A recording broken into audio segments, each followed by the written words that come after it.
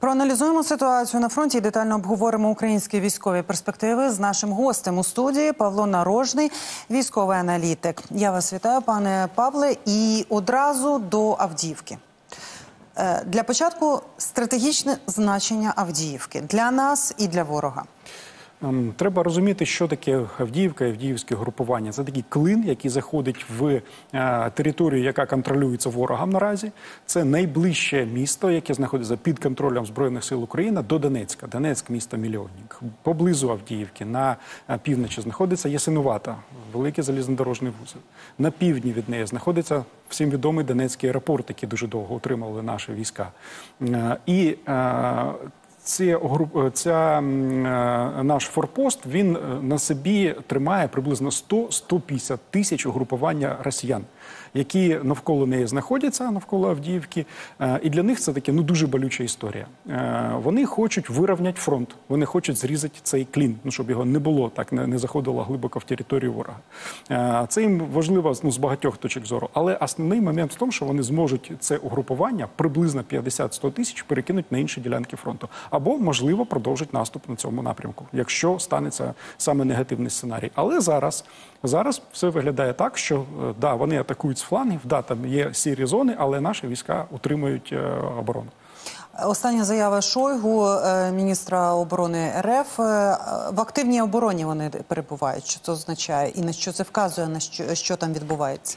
Коли кажуть активна оборона, це означає те, що немає ресурсів для того, щоб зробити перерив, але постійно ведуться атаки невеликими, відносно невеликими ресурсами, ведуться контратаки, коли вони втрачають якісь території. Ну тобто такий якась рівновага на фронті е, без натяку на подальший наступ.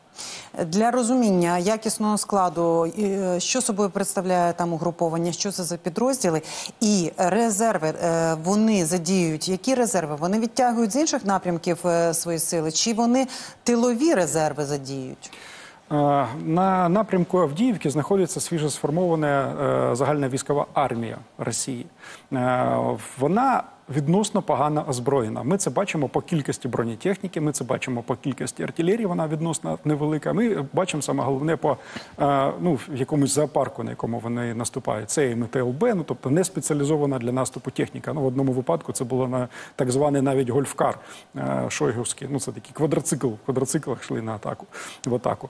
Е, якісно підготовлених десантно-штурмових військ, морської піхоти там ну поки що не було, не було помічено, скажімо так. Вони точно відомо, що вони знаходяться на півдні України. Вони знаходяться біля Роботина, вони знаходяться на лівому березі е, Дніпра. Це там 810-та бригада морської піхоти. Тому там знаходяться всі атаки ведуться кількістю, а не якістю, тобто величезною кількістю е, особового складу. Е, Вони втрачають цей особовий склад в величезних кількостях. Ми бачимо там тисячу, тисячу двісті втрат особового складу, про які в кожному звіті Генерального штабу кожен день. І ми бачимо, що от коли йде така одна велика атака, після того вони там на тиждень, на 10 днів вони затихають. Що відбувається? Вони в цей момент вони із декількох е, рот вони формують нові батальйони, формують нові підрозділи і знов кидають їх в бій. Після того вони знов получають втрати, знов залізують рани, знов кидають їх в бій. Вони їх відтягують з Лиманського напрямку, з Луганської області, чи все ж таки йдеться про е, тилові резерви з е, РФ? Це резерви тилові з РФ. Це вони з інших напрямків туди ну не, не було помічено, що вони перекидуть. Вони туди відносно свіжі підрозділи заводять. Які запаси в них по тилах? Мобілізацію вони якби таку офіційно не проводять. Вони проводять неофіційно, вона в них не зупиняється, вона відносно непомітна, тому що вони в основному це роблять по регіонам, по далеким, по Бурятії, там по Сибіру і так далі. А головна проблема у них це техніка. На складах у них величезна кількість танків, е, бронетранспортерів, всього іншого, але це треба встигати піднімати. Ну тобто відновлювати цю техніку, ремонтувати і відправляти. Ми вже бачили дуже екзотичні танки, там Т-62, Т-55. Ну там ну да, є і нові танки, Т- Т-90 і так далі. Але ну, в цілому нестача техніки помітна. Lindner. У них ну в кращому випадку, ну може відсотків 50 є від е, штатної кількості, яка потрібна е, на, на цих напрямках. Людей, звісно, у них багато. І з великою ймовірністю до виборів е, казати президента смішно, до виборів Путіна, які До переназначення. до переназначення Путіна, яке відбудеться навесні, я більш ніж впевнений, що такої широкої великої мобілізації не буде. Ну тому що ж там у них переможна перемога відбувається, е, і казати там про величезні втрати ну якось не прийнято. Да? Е, Тому буде тільки прихована мобілізація, але на жаль, навіть цих людських резервів дуже багато. По резервах е, по бойовій техніці цікаво. От е, останні з повідомлень це на БАМі 30 листопада, мені здається, так вибух е, підірвали е, потяг вантажний е, далеко за тисячі кілометрів. Офіційно ніхто не заявляв причину. В Росії це називають терором. Але що цікаво, це логістична артерія. Е, По-перше, які арсенали в них там? Наскільки вони зацікавлені, щоб ця логістична артерія існувала, і що тепер, наскільки вона ускладнена, якщо так підривається? Ем, По-перше, для чого е, є дві магістралі: перша Бакала Мурська, друга Транссибірська. Ну, Транссибірська вона дуже древня, вона будувала ще там на початку 20-го сторіччя. А ця відносно свіжа, вона її закінчила в 83-му році будувати. Е, Вони е, ем, ця війна артилерії, тобто потрібні неймовірна кількість артилерійських снарядів. Ну от взяти е, повідомлення, ну скажімо, прес-офіцера 26-ї артилерійської бригади, нашої української, який сказав, що ми стріляємо в день 10 тисяч снарядів. 10 тисяч снарядів, ну нехай кожен там грубо важить 100 кілограм, це мільйон кілограм, які за добу треба перевезти кудись. Ну, величезні об'єми. І вони е, знов таки були повідомлення ГУРа, що з всіх європейських складів вони вже все відвантажили. Тобто вони все вже і зараз вони вигружають з складів, які знаходяться в Сибіру. Крім того, були повідомлення про те, що е, вони отримали, отримали снаряди від Північної Кореї. Мільйон снарядів. Їх треба якось довести. Е, Єдина залізнодорожна гілка, вона поєднує між Владивостоком та Північною Кореєю знаходиться. Е, Були повідомлення, ну дуже неясні, але якісь натяки були про те, що знаходили китайські снаряди. Я більш ніж впевнений, що це якась контрабанда через знов таки через Північну Корею, бо ну вести тільки 60-мм міни та освітлювальні снаряди це смішно. Ну швидше за все, ця поставка пройшла через Північну Корею. Е, І зараз ця артерія перерізана. Тобто е, перевести будь-яким іншим шляхом, я не знаю, кораблями, літаками Арктикою? таку е, нереально, абсолютно нереально таку кількість снарядів перевозить е, чим іншим ніж залізною дорогою. Тому, поки вони будуть е, е, ремонтувати цю артерію, а я сподіваюся, що це надовго, бо мова йде про е, тунель довжиною 15 кілометрів, на будівництві якого загинуло більше 100 людей. Ну тобто там дуже складно його будували, в якому повишений радіаційний фон в цьому тунелі. Тобто я сподіваюся, що він став надовго. Тобто мова йде, я думаю, про місяці. Сподіваюсь, скажімо так, це моя версія. І це дуже ускладнить логістику і постачання боєприпасів ворогу. І як це вплине на фронті? Зокрема, на, наприклад, от вони вже активізувалися не тільки на Авдіївці, вони з кількох напрямків почали атакувати знову ж таки на тому ж лимані. Які там, яка там оперативна ситуація? Ліман відрізняється від цих е, інших напрямків. Чому так? Тому що це Донбас, але це лісистий Донбас. Там знаходиться Серебрянський ліс, громадний ліс, в якому, е, як дуже точно висловився один наш спеціаліст, що там е, наші десантники дають уроки тактичного бою росіянам. Ну, тобто дуже там цинічно. Вони його з 14-го року добре вивчили. Да, вони його дуже гарно вивчили. Вони там е, знають кожне дерево, кожен е, закуток, і в цьому закутках під цими деревами вони там знищують ворога цілеспрямовано і дуже ефективно. Е, да, на жаль, знов таки перевага в кількості ворога. Вона величезна, ну тому що росіян більше. Але наразі оборонці тримаються і дають відсіч. І щоб закрити тему фронту, лівий берег Херсонщини. Плацдарм берег. сформований наш. Е, е, Збройні сили е, наполягають для того, щоб ми про це мовчали. Тому ми можемо просто посилатися на російських воєнкорів. Ну тому це єдине джерело, яке про яке ми можемо спокійно казати в ефірі. Або казати про потужності російських сил е, на тому березі. Да, ми знаємо, що єдина бригада, більш-менш боєспроможна, яка там знаходиться, це 810-та бригада морської піхоти міста Севастополь, і вони дуже жаліються на втрати, на величезні втрати в своїх підрозділах. Біля міста Кринки наїхав на міну цілий російський генерал Завадський, зам командуючого 14 загального е, армійського корпусу. Ну тобто великого польоту людина, яка приїхала чомусь в кринки, ну під кринки, от прямо на місце бойових дій. Тобто, це означає, що там ситуація швах для них. Ну тобто, якщо цілий генерал приїхав командувати, тобто це означає втрата командування, тобто команди генерала. Треба транслювати прямо рядовому, який стоїть на фронті. Тобто це величезна проблема. Е, Якщо взяти таку тактичну ціль е, цього угрупування, цього е, плацдарму, по-перше, це тактична ціль це відкинуть залишок для того, щоб в Херсоні не було артилерійських обстрілів, від кого цей обласний центр постійно від них страждає. А друга, як мені виглядає, як я бачу, це стратегічна ціль це перешийок.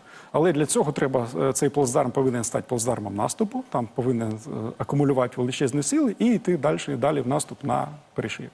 І мати з чим йти. А про це у нас е, підготовлений матеріал про союзницьку допомогу. Битва за бюджет, дата голосування у Сенаті США за пакет допомоги Україні сувається. Повідомляє агентство Bloomberg. Чому і які строки зараз вважають реальними? Все це з'ясував у Конгресі США наш спеціальний кореспондент у Сполучених Штатах Дмитро Анопченко. Е, Це правда. Сенат робив все можливе, щоб проголосувати за пакет Байдена допомогу союзникам США на більш ніж 100 мільярдів доларів вже на наступному тижні. Але зараз тут у конгресових кулуарах звучать прогнози, що питання скоріш за все перенесеться на проміжок часу із 11 по 15 грудня. Кажуть і про причини. План був таким. Е, Сенатори збиралися вже у найближчий вівторок провести закриту розмову із військовими та розвідкою, отримати прямі відповіді на питання щодо ситуації на українському фронті та в секторі Газа, і після цього вже голосувати. Адже питань, зокрема, і щодо е, на яку саме допомогу витрачатимуть бюджетні гроші, було би куди менше. І розрахунок був, я чув це безпосередньо від конгресменів на 6-7 грудня. Е, Тим більше, що в ці дні у Вашингтоні буде велика українська делегація, е, включно із топ-політиками. Ну і це було би символічно. Що сталося зараз? Коли ми кажемо про пакет Байдена, то треба згадати, що окрім допомоги Україні, Ізраїлю, Тайваню, в ньому і частина грошей для укріплення кордонів. Це була вимога республіканців. І от щодо кордонів якраз не можуть знайти спільної мови і попросили паузу для консультацій. Е, Ці консультації можуть е, тривати весь наступний тиждень. Ну а далі логістика проста. 11 грудня, найближче понеділок. А із 15-го Сенат вже планує піти на різдвяні канікули. Е, Тож і сенатори-демократи, і адміністрація Байдена роблять все можливе, аби саме в цей проміжок часу, хоча б Сенат, хоча б Верхня Палата встигла проголосувати. Ну а далі далі треба буде зібрати голоси у палаті представників, де куди більше скептиків ніж у сенаті, і контроль у республіканців там. Ну і от я спеціально перевірив конгресовий розклад. І якщо е, сенат не працюватиме із 15 по 29 грудня, е, тобто повернеться фактично у січні, то палата представників планує різдвяні канікули лише із 24 грудня, тобто залишається фактично додатковий тиждень, щоб спробувати переконати е, конгресменів проголосувати, що називається під ялинку, тобто ще цього року. Звісно, прогнози робити складно, але самі конгресмени кажуть, що встигнути в принципі реально. Ну, якщо звісно щось ще не виникне. Свіжий розклад сил озвучив під час дискусії у Гудзонівському інституті е, конгресмен Бейкон, е, республіканець від Небраски. І давайте послухаємо. I think this month, Думаю, що цього місяця ми зможемо досягти угоди і за кордоном, і щодо України. Це вимагатиме укладання угоди між двома палатами. І я справді вважаю, що ми зможемо досить легко затвердити у палаті представників військову допомогу. Однак для цього знадобиться певна домовленість щодо кордону. Якщо буде вона, вважаю, що ми все таки зможемо домогтися цього у грудні. І щоб це таки сталося, і українське питання законодавці не затягнули до січня. Американська адміністрація постійно звертається до конгресменів, робить це публічно. Ну, от, наприклад, стратегічний координатор Радбезу США Джон Кірбі назвав цю ситуацію основною причиною для занепокоєння і каже, адміністрації Байдена дуже складно забезпечити необхідну Україні військову підтримку без схвалення конгресом додаткових асигнувань. Хоча це і робиться. Ну от послухайте, пряма мова.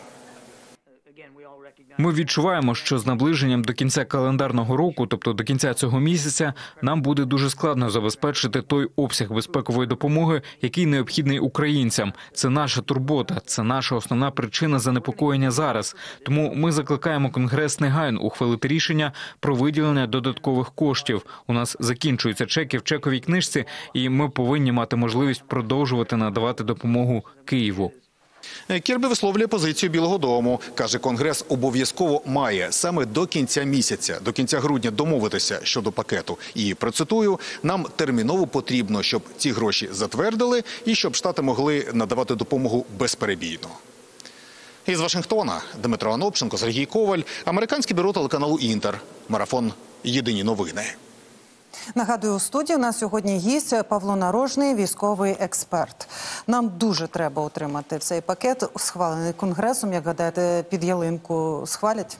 Сподіваюсь, що так, тому що ну ми перейшли з військової теми більше в політичну тему, але сподіваюся, що так, тому що всі на заході прекрасно розуміють, що станеться, якщо Україна програє цю війну. А ми на 100% залежимо, на жаль, від наших союзників. У нас не така велика економіка в нашій країні, щоб забезпечити самих себе зброєю.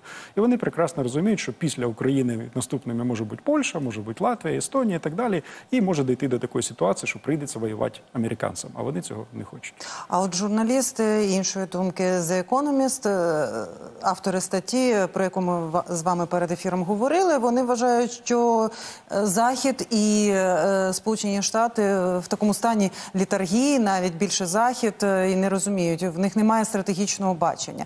А чи дійсно це так? Чи все ж таки у Заходу є стратегічне бачення, аби не допустити перемоги Путіну, шанси якої бачать журналісти The Economist? Ну, я читав цю, цю статтю, і для мене вона більше виглядає як такий е, високого польоту тролінг е, еліт е, західних. Що от дивіться, у вас ми пишемо про те, що у вас нема бачення. А це такий сигнал доволі серйозний, коли політикам кажуть, що у них нема стратегічного бачення, і вони не розуміють, коли вони куди вони ведуть свою країну. І мені я сподіваюся, що все ж таки позитивне рішення буде прийнято.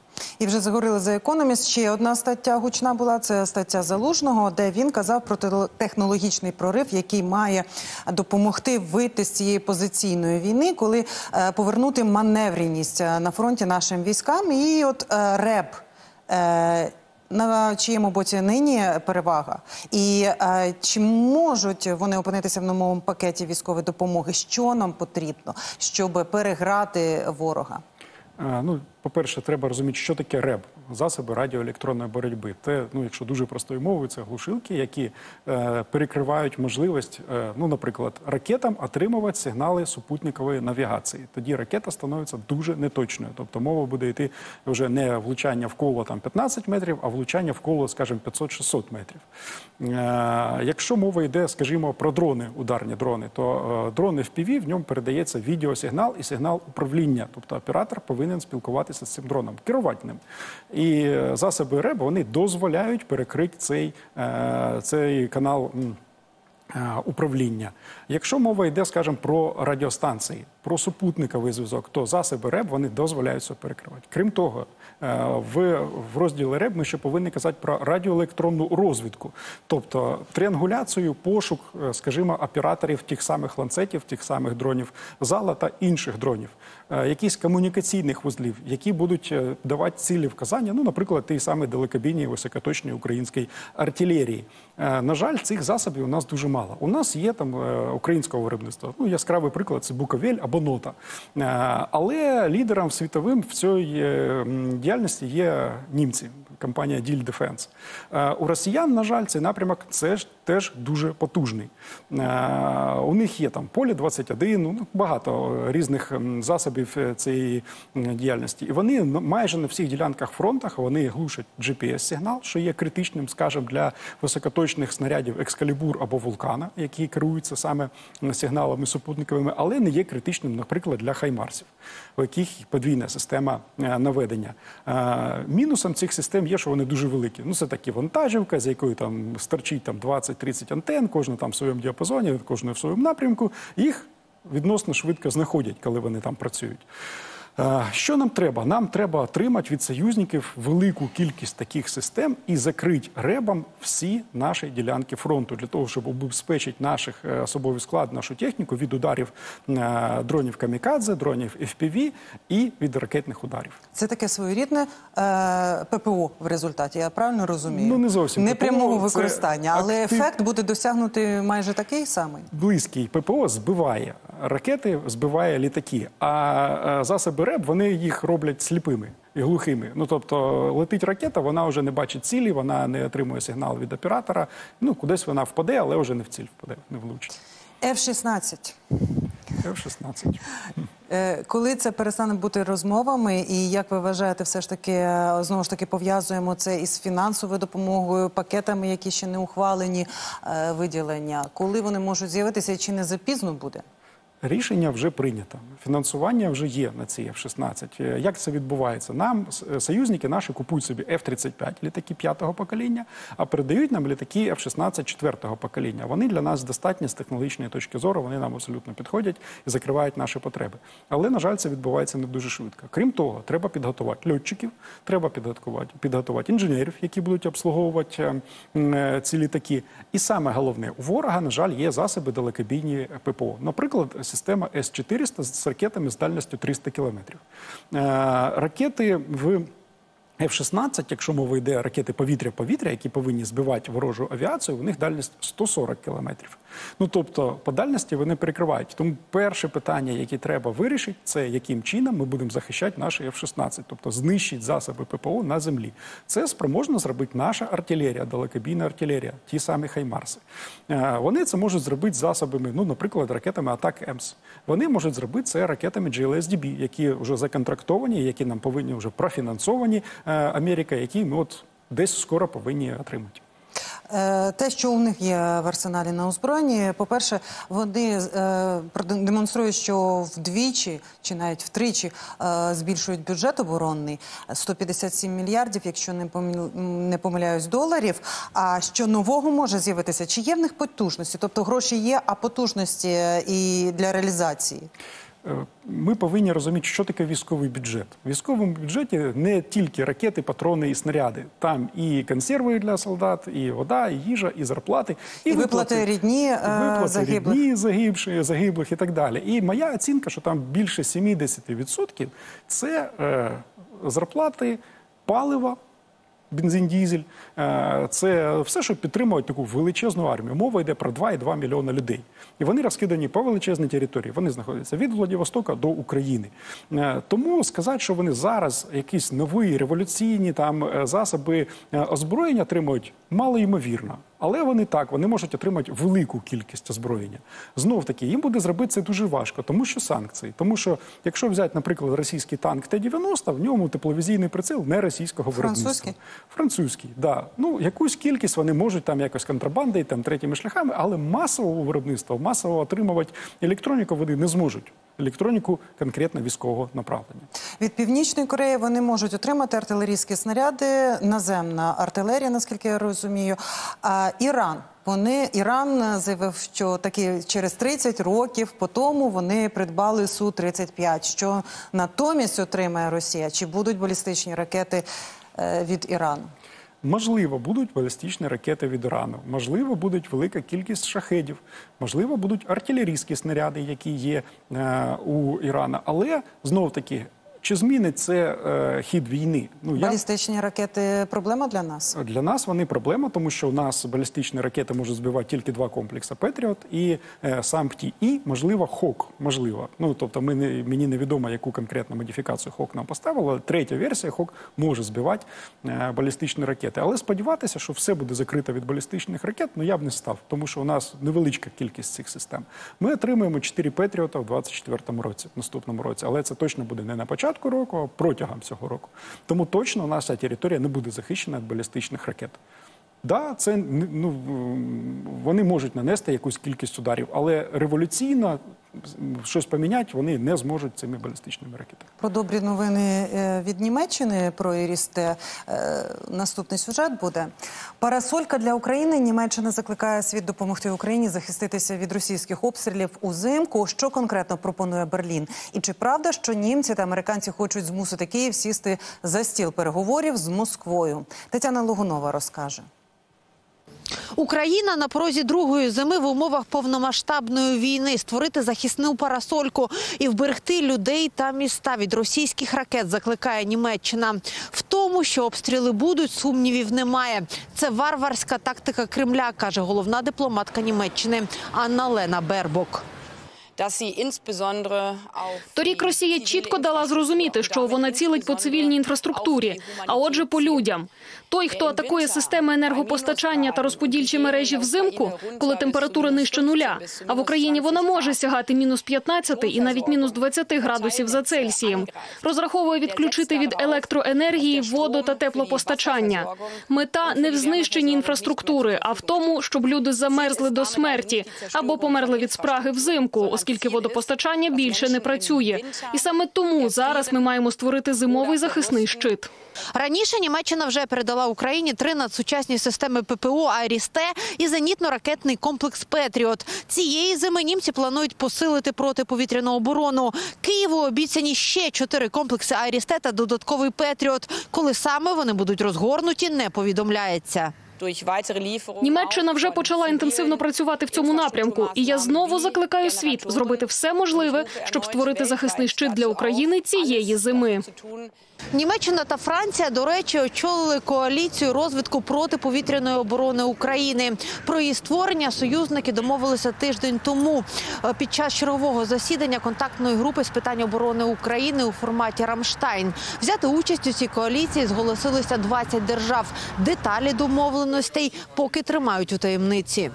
Дякую кожній країні, яка бере участь у цих зусиллях, у тому, що дає можливість нашим містам і селам бути більш захищеними від російських ударів. Поки не все можна розповідати публічно, але український повітряний щит стає сильніше буквально щомісяця. А ще офіційний Берлін запевняє, він не збирається обмежувати військову допомогу Україні, щоб у такий спосіб разом із Сполученими Штатами змусити українських політиків сісти за стіл переговорів з Росією. Інформацію про цю нібито секретну тактику Берліна та Вашингтона днями опублікував німецький таблоїд Більд. Брехня спростовують в уряді. Припускати, що ми хочемо схилити Україну до чогось шляхом скорочення поставок, відвертий цинізм. Це неправда. Я нічого про це не знаю. Навпаки, зараз ми робимо все можливе, щоб поставити Україні нове озброєння, системи ППО, бронетехніку та боєприпаси. Військову допомогу для України планують закласти і в бюджеті на наступний рік, який зараз на стадії планування. Точна сума поки не визначена. Утім, є максимальний поріг 8 мільярдів євро. Тетяна Логунович, Слав Фролов, подробиці німецьке бюро телеканалу Інтермарафон. Єдині новини. Нагадую, гість нашої студії сьогодні Павло Нарожний, військовий аналітик. А отже, як оцінюєте нині наше ППО е, і наскільки от посилять нові е, установки? Е, На жаль, системна багатоешелонована захист у нас є тільки біля великих міст. Ми не можемо прикрити Херсон, ми не можемо прикрити Миколаїв і так далі. Все це залежить від кількості систем. Що таке ешелонована система? У ворога є різні засоби ураження. Надзвукові ракети, кінжал, наприклад, балістичні ракети різного. Е, е, е, декілька різних моделей, крилаті ракети і шахеди, про які ми всі так багато чуємо останнім часом. І проти кожної системи. Е, Свій захист. Якщо проти шахеда найбільш успішні, найбільш потужні це гепарди і мобільні групи. Мобільні групи це банальні е, джипи, на яких е, установлені кулемети. Цими кулеметами збиваються шахеди. Проти крилатих ракет потрібні системи середнього радіусу дії. Той самий Айріс-Ті, про який тільки що розповідали. А про, про коли мова йде про балістичні ракети, тоді вже потрібні системи Петріот, САМПТІ. Але і Петріот може збивати шахед. Ну тут питання вже в вартості цієї ракети. Якщо ракета там вартує декілька декілька мільйонів доларів, то стріляти нею по шахеду сенсу небагато. Е, Нам потрібна велика кількість таких систем, і вони повинні прикрити всю інфраструктуру, всі населені пункти України. У нас наразі в Україні, якщо не помиляюсь, 4 Петріота. В Німеччині більше 60, а в Японії більше 200 патріотів, які прикривають е, ці країни. В США десь теж більше 100 штук є. Е, Тому наша система ППО, вона. Ну, я не знаю, якісна, революційно змінилася в порівнянні з е, що було рік тому, але все одно її не вистачає для того, щоб повністю закрити всіх від цих загроз неба України. Так може ак- активізуватися оця коаліція ППО навколо України? Вони можуть е, поділитися все ж таки? Я сподіваюся, що так. І мова йде навіть уже не про те, що вже відкритим текстом кажуть, давайте нам в оренду системи ППО. Тобто всі бачать, що навіть від самих там яростних ударів Росії у нас жодна система Петріот не була пошкоджена або втрачена. Тому дайте нам просто їх банально в оренду. Ми їх повернемо після зими, там навесні повернемо. Тобто шляхи є, як отримати ці системи. Тут уже питання це перемовин з нашими союзниками. Це вже питання там до Кулеби, до е, Міністерства зовнішніх справ для того, щоб вони вели ці переговори і довели їх до успішного. Ми кілька разів говорили про згадували дрони і Сі Бейбі, морський малюк, е, уламки якого зібрали росіяни з декількох е, дуже ефективно себе показували. На дно відправили, міст е, теж влучили. Але от вони зібрали такий е, з уламків е, дрон і зараз е, займаються тим, що його вивчають, і програмування, що головне, я так розумію, в цьому дроні. Наскільки це може обернутися для нас шкідливо? У нас, на жаль, є дуже важлива для нас артерія це зерновий коридор. Ну тобто експорт зерна. Ми не можемо зерно. Ми експортуємо зерно залізною дорогою в Польщу, в Румунію, але все ж таки основне джерело, основна артерія це морські е, перевезення. І теоретично і практично вони можуть наносити удари саме цими дронами по зерновому коридору. Тут уже питання стоїть в тому, що більшість цих кораблів, які ведуть зерно, це не українські кораблі, це е, кораблі інших країн. Яка буде реакція на це сказати важко? Другий момент, що е, зерновий коридор, кораблі, коли виходять для того, щоб дійти до, до Румунії, а Румунія країна НАТО, це декілька десятків кілометрів. Ну тобто відносно невеличка дальність. Але так вони навіть в цьому на цій ділянці фронту зможуть ними ударити. Сказати, що морські дрони, е, що реверс інженірінг, обратний інженірінг е, цього дрона дасть їм якусь там революційну інформацію. Вони і раніше могли зробити такі дрони. Крім того, у них є багато інших засобів ураження. У них є протикорабельні ракети, наприклад, і е, противорадарні ракети. Вони вдарили по одному із зерновозів саме протирадарною ракетою в порту Одеси, якщо не помиляюся. Тому засоби є.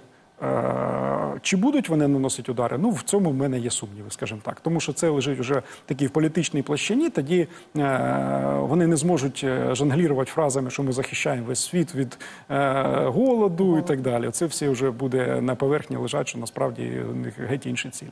В акваторії Чорного моря яка ситуація? От те, що вони вимушені були відтягнути свій флот в Новоросійськ. А наскільки це зменшує шанси, те, що ми будемо обстріляні саме з платформ е, кораблів? І взагалі. А, Ну, вони тримають велику паузу, слава Богу, але тримають паузу по ракетних е, обстрілах. Е, про нестачу ракет ми не можемо говорити, тому що щомісяця 120, так вони виробляють. А в чому тоді причина? Ну я так думаю, що е, причин декілька. Причина номер один, то що вони е, чекають на те, що коли стануть морози. По м, прогнозам, у нас е, грудень буде ну відносно теплий. Завдяки глобальному е, потепленню. Е, крім того, вони сподіваються наносити удари по військовій інфраструктурі. Наприклад, каби керовані авіаційні бомби, вони геть не економлять, вони їх величезною кількістю стріляють. Е, тому я думаю, що питання морозів. Друге питання: ми відкинули з Севастополя їх флот. В Севастополі у них була інфраструктура для загрузки калібрів. В Новоросійській її немає. З Новоросійська стріляти ну, сенсу небагато. Е, тому вони, мабуть, зараз шукають якісь інші шляхи, розробляють нову тактику і будуть по нам бити, я думаю, десь наприкінці грудня. А от накопичення, скільки вони могли накопичити, і чи вистачить знову ж таки їм платформ для наймасованішого обстрілу? Чи все ж таки кількість ракет, коли в тебе немає звідки запускати їх? Одночасно? Ем, е, Їм треба перенасичити нашу систему ППО. Тобто, навіть коли у нас є системи ППО, коли летить там, скажімо, 10 ракет, 10 ракет збили, це означає те, що в систему ППО треба завантажити 10 ракет для того, щоб збивати наступну партію. Тому їм треба перенасичувати. Перенасичувати вони можуть дронами, шахедами, вони можуть перенасичувати застарілими ракетами там. м, е, Вилетіла назва з голови, ну неважливо. Е, да, це, кількість пускових платформ це проблема. Е, крім того, взимку в Чорному морі типово це шторми. Ну це навіть не, не цього року, майже кожного року там штормить, і це величезна проблема для пуску е, цих калібрів, тому що корабель повинен стояти ровно. Ну там є проблема суто технологічна для роботи е, стартового двигуна. Платформа не повинна хитатися, вона повинна стояти відносно рівно. З цим зараз у морі проблема. Тому може і фактор погоди. Які ще можуть е, вплинути, от е, що може вплинути на те, щоб е, все ж таки, от е, повернуся до балістичних ракет, хоч і е, ближньої дальності з Ірану, е, що може змусити Іран відмовитися від цієї угоди? Ну тільки міжнародний тиск, тільки втручання е, інших країн, тому що е, За рахунок чого? Це санкції чи е, і так 50 років під санкціями? Вони знаходяться під санкціями, але їм потрібні гроші. Їм потрібно продавати свою нафту. Тобто, це може бути важелем для переговорів. Я не вірю в те, що наші союзники США чи там Ізраїль чи хтось інший буде піде на відкритий конфлікт з Іраном і буде їх там бабить, буде з ними воювати. Ну тобто е, фактор можна відкинути війни, тобто точно не будуть воювати. Але можливо. Якесь послаблення санкцій, можливо, суто теоретично, може бути таким важелем для того, щоб перекрити ці е, співпрацю з Росією. А в тріаді Китай, Іран, е, Москва, Китай може вплинути на Іран? Китай да може, тому що Китай економічно набагато потужніше ніж Росія і Іран разом взяті, і у них є багато чого вони можуть запропонувати і Ірану, і Росії. Я вам дуже дякую за цікаву розмову, таку докладну. Е, у нас в студії сьогодні був гість Павло Нарожний, військовий експерт.